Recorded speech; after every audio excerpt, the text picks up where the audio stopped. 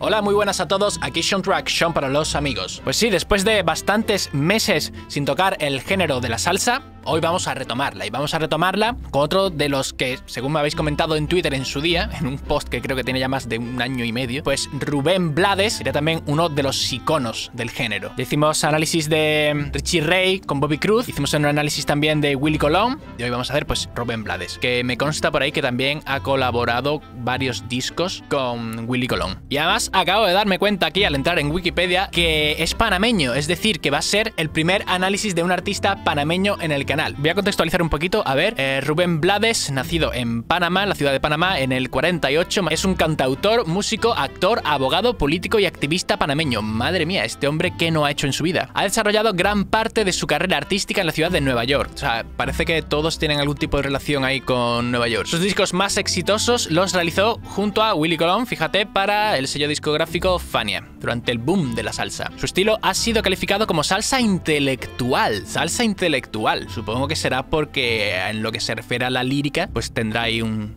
trasfondo de bastante peso. Y en muchos países se le conoce como el poeta de la salsa. Sus canciones han alcanzado gran popularidad y es considerado uno de los cantautores más exitosos y prolíficos de Latinoamérica. Casi nada, ¿eh? Porque hacer esa declaración, sabiéndolo vastísimo que es el universo musical de Latinoamérica, pues estamos hablando de un grande. Y sin ir más lejos, desde la década de los 70 hasta la actualidad ha grabado más de 20 álbumes y ha participado como invitado en más de 15 grabaciones con artistas de distintos géneros y tendencias. En reconocimiento de su labor, ha recibido 13 premios Grammy ha incursionado en el cine participando como actor en diversas producciones tanto de Hollywood como del cine independiente. Y en el 94 participó en las elecciones de su país, en las que quedó en tercer lugar, con el 20% de los votos de entre 7 candidatos. Madre mía, qué barbaridad. Me estoy intentando poner en la piel de Rubén Blades por unos minutos y yo desde luego estaría estresadísimo. Y bueno, volviendo ya a lo que nos toca, ¿no? A lo que es, escuchar por primera vez el artista y dar mis impresiones. Eh, recuerdo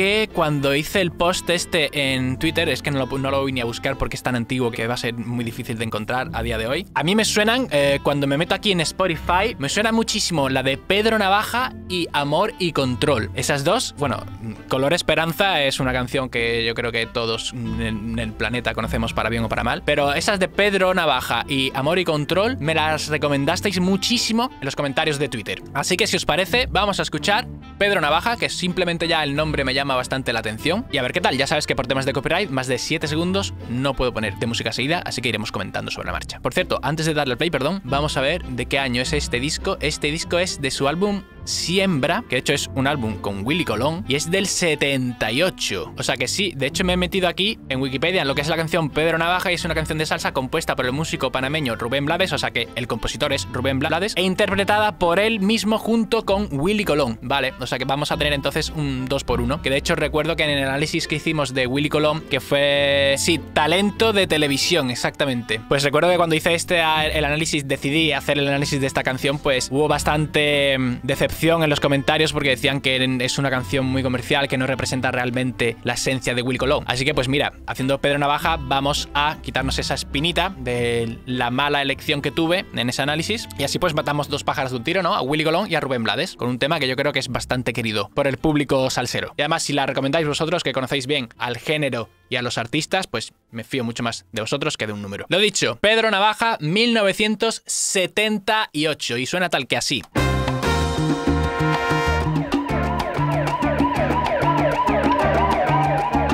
Madre mía, oye, pues, ojo, cuidado que esto es serio. Me ha descolocado bastante. Estaba, o sea, ha empezado que he dicho en plan de, wow, aquí hay ambiente fusión cero incluso. O sea, se ve que es una salsa de gama alta, por así decir, ¿no? Con buenos músicos y con un nivel de composición alto. Lo que decía que me descolocaba un poco es de repente ese coche de policía que aparece por ahí. Supongo que algo tendrá que ver con lo que diga la letra, ¿no? En lo que a musical se refiere, pues está ahí, por supuesto, eh, la clave, que nos dice ya de primeras, oye, estamos aquí en una salsa. Y me gusta especialmente el tempo, porque no es ni demasiado lenta ni demasiado rápida, ¿no? Sí, me parece un tempo que no es ni demasiado acelerado para hacer una salsa de estas que son súper frenéticas, ni tampoco demasiado lento para que se haga pachón. No sé, de momento me parece todo muy, muy interesante. Y bueno, y, esos vientos del principio me han dejado loco. Vamos a seguir escuchando a ver.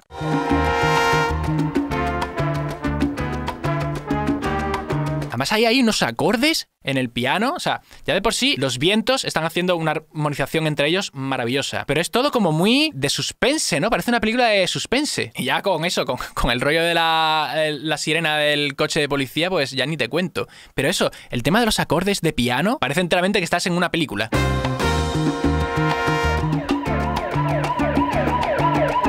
Y es que de hecho eh, me da a mí la sensación, por lo poquito que he escuchado hasta ahora, que el tema está en modo lidio, en do lidio. Pero con el séptimo grado bemol, o sea, con el séptimo grado disminuido un semitono. Entonces... Es exactamente el mismo tipo de escala que tiene la canción de mm, Los Simpsons. Vamos a seguir escuchando a ver qué tal. Ahí ya, desde luego, el Lidio B7 se lo han cargado. Efectivamente, ahí han dado el séptimo grado normal, por lo cual estaríamos en modo lidio.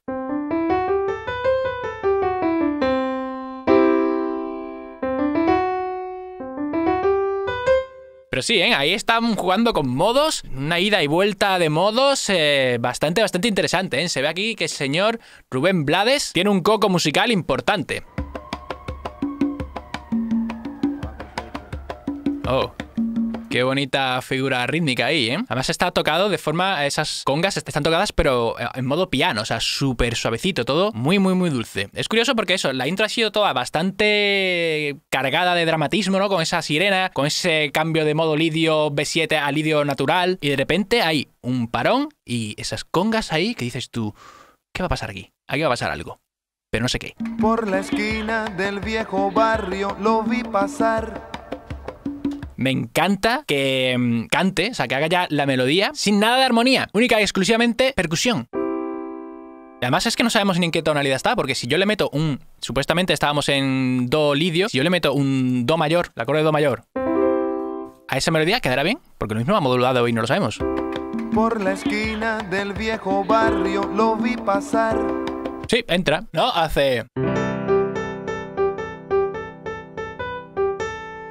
Pero claro, como no hay armonía, lo mismo, eso puede estar hecho sobre un La para que sea todo más triste y, hemos pasado al relativo menor. No lo sabemos, a ver con qué nos sorprende, tengo mucha curiosidad las manos siempre en los bolsillos de su ¡Oh, qué guay, tío! Está haciendo muchísimas cosas que te tienes que imaginar en tu cabeza, ¿no? Na, na, na, na, na, na, na, na, na, na. Me encantaría sacarle aquí a estos unos acordes sin saber lo que va a pasar para que de repente salga lo que él ha pensado, ¿no? Porque yo puedo interpretarlo con una armonía en mi cabeza, pero después, cuando empiece el tema con los acordes, sea algo 100% diferente. Pasa claro, no me voy a poner aquí a inventarme unos acordes porque me van a dar las tantas. Y esto tampoco se trata de aquí de una paja mental de mi cabeza, sino de un análisis musical. Así que a ver si empieza algo de música. Pero vamos, muy guay, muy guay. A ver qué pasa. Usa un sombrero de ala ancha de medio lado. Seguimos sin tener nada de información de armonía, pero se van añadiendo elementos percusivos. Lo que sí que no sé decir mm, es si el que está cantando primero es Will Colón o Rubén Blades, porque no, no tengo diferenciados sus timbres. A ver si lo puedo buscar aquí en Wikipedia. Ah, mira, aquí en Wikipedia acabo de leer que la canción sirvió como base para la película del mismo nombre. O sea, hay una película que se llama Pedro Navaja, del 84. Y un año después de esa película, Rubén Blades compuso Sorpresas, que es como la segunda parte de la canción. Qué guay, o sea que esto es un thriller policíaco, parece enteramente, ¿no? La, la canción. Qué pena que por aquí no me venga en plan de esta parte la canta este, esta parte la canta el otro. Pero bueno, ya está. Le doy a play, no puedo hacer otra cosa. Lentes oscuros pa' que no sepan que está mirando. O sea, eso imagínate. Lentes oscuros pa' que no sepa que está mirando. Eso podría interpretarse como lentes oscuros pa' que no sepa que está mirando. Por ejemplo, pero es que pueden ser mil millones de cosas. Esto lo he hecho yo en mayor. Pero si lo hago en menor, por ejemplo, lentes oscuros, pa' que no sepa. O sea, por ejemplo, si lo hago en menor, en el relativo menor de Do, eh, estaríamos en La menor. Pero con esa nota que da él, lentes oscuros, pa' que no sé. Eso es un Do sostenido, es decir, que si estábamos en La menor, de repente tengo que hacer un préstamo modal a La mayor. Lentes oscuros, pa' que no sepa. Pero eso seguro que no es porque sería ya demasiado enrevesado. En fin, vete tú a saber.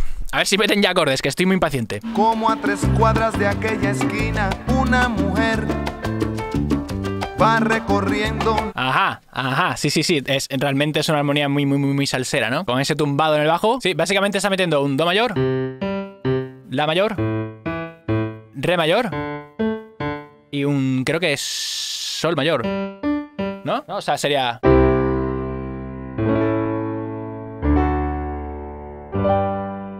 Creo que es eso. A ver, otra vueltita.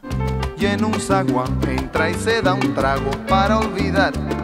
Claro, o sea, sí, eh, al final es una mezcla de las cosas que hice antes. Bueno, no, realmente no, es lo primero que hice. Es un do, do mayor. Lo que pasa es que yo aquí estaba dando en el bajo el do sostenido, pero claro, realmente tendría que haber dado un la, ¿no? Para entender que simplemente es un la mayor. Y estaba dando yo también la séptima, por tanto. El re era bastante intuitivo que estaba ahí. Y después ya eh, la última nota que creo que ha dado un sol. O sea que al final no es tan enigmático como te lo podrías imaginar, ¿no? Lo que pasa es que contribuye mucho el hecho de no dar armonía para que te genere ese suspense, esa expectación. Y no hay clientes para trabajar. Un carro pasa muy despacito. Hayan hecho una pequeña transposición, ¿no? Y además es guapo porque entran de repente, eh, antes de la transposición, unos vientos que te dicen, cuidado que va a pasar algo. Y creo que es la misma armonía, pero eso, subida un poquito de tono. Pero todos saben que es policía. Mm.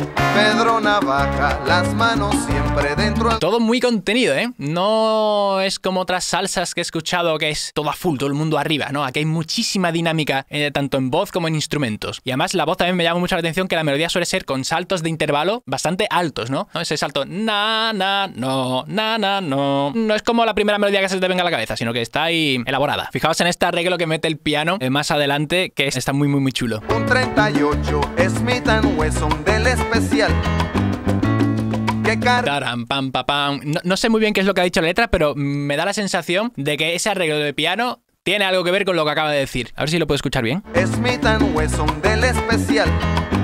No me entero bien de lo que, lo que dice, pero me da a mí la sensación de que es un guiño a lo que acaba de decir. Y es que realmente es eso, es como todo muy cinematográfico, ¿no? Y créanme, gente, que aunque hubo ruido, nadie Mi mayor sería ahora la tonalidad. Son solamente los vientos, parece dos voces solamente, ¿no? Yo creo que sí, que hay una a la izquierda y otra a la derecha. Creo que la trompeta tiene sordina, me parece. Pero creo que son solamente dos. Fíjate tú que parece completamente que hay muchos más vientos, pero si te concentras, creo que solo hay dos.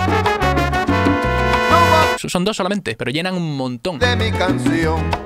La vida te da sorpresas, son. Eh, esa ya es otra persona, no es la misma que antes. Habla como vacilando, ¿no? La vida te da sorpresas, sorpresa te da la vida.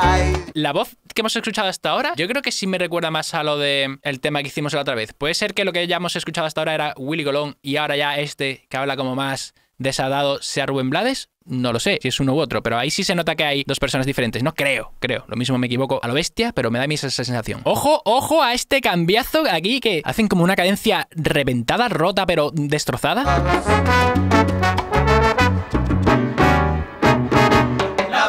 Buenísimo ese arreglo.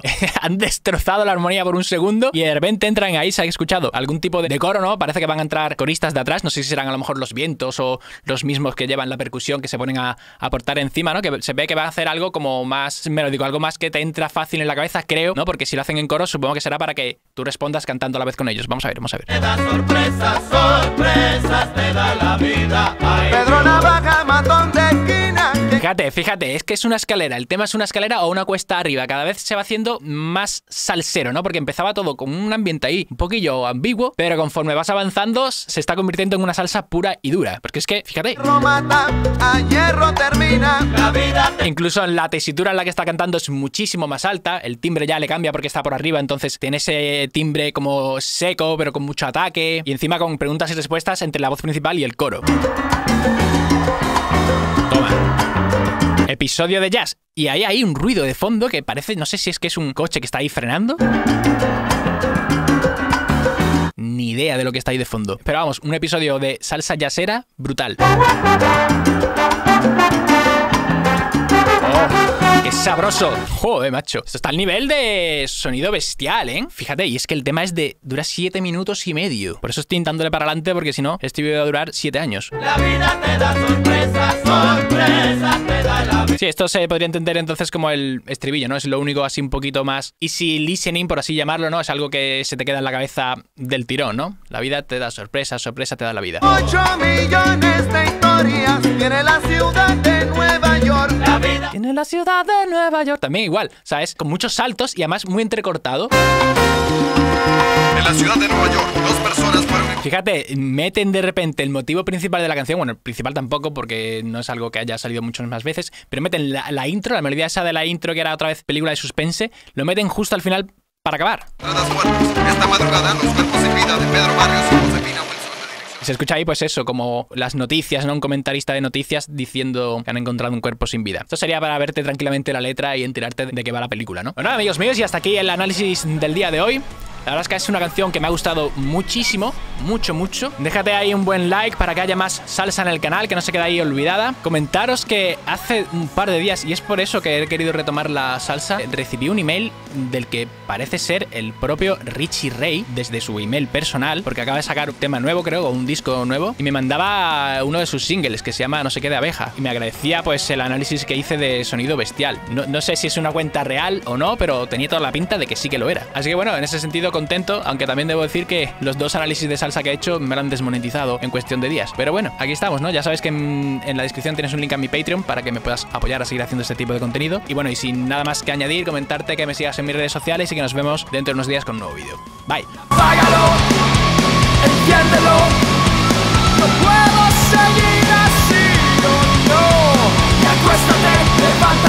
apágalo.